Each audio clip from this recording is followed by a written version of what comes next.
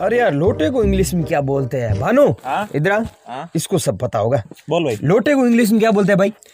लोटे को इंग्लिश में बोलते हैं लौटा। पहली नज़र में मैं तो डर ही गई थी। और पहली नज़र में तो मैं मर ही गया। सो चीजी मैं एक न्यूट्रिशनिस्ट हूँ mister Dixit. I can love extra cheese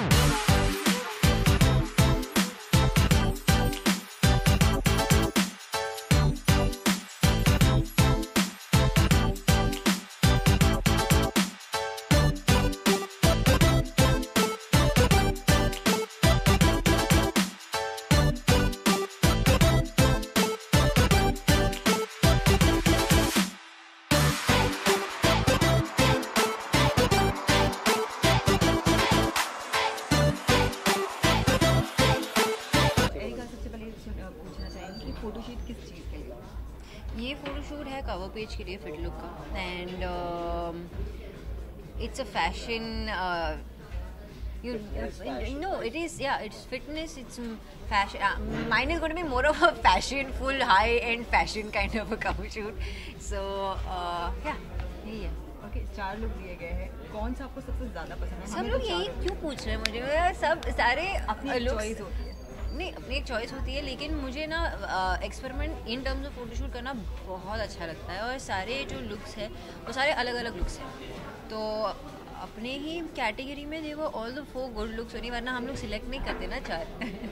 क्या क्या लुक्स है उसके बारे में um, हमने we done like a red carpet look हमने क्लासिक शीक लुक किया है फिर हमने बोल्ड लुक किया है हमने little doll dolled up fashion type high fashion photoshoot भी किया मतलब लुक भी किया।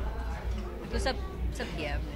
पर्सनली एरिका को कैसे कमेंट्स मिलते हैं? जब वो प्रेरणा के लुक से एक अलग अपना अंदाज जब दिखाती हैं। तो सब लोग यही बोलते हैं थैंक गॉड हमें फाइनली एरिका दिखने मिली और ना हमेशा प्रेरणा ही दिखती है। ओके एक और बात पूछना चाहूँगी कि फिट लुक है तो फिटनेस का क्या राज है आपको फिटनेस का राज यही है कि एक्सरसाइज करना चाहिए। ऐसा नहीं है कि हम लोग यू नो फिट मतलब फिट दिखते हैं या मैं स्किनी हूँ तो मुझे एक्सरसाइज नहीं करना चाहिए।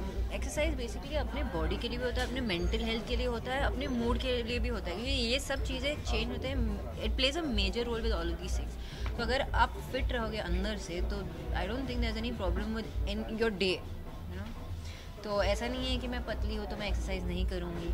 मैं ज़रूर करती हूँ और सबको करना चाहिए।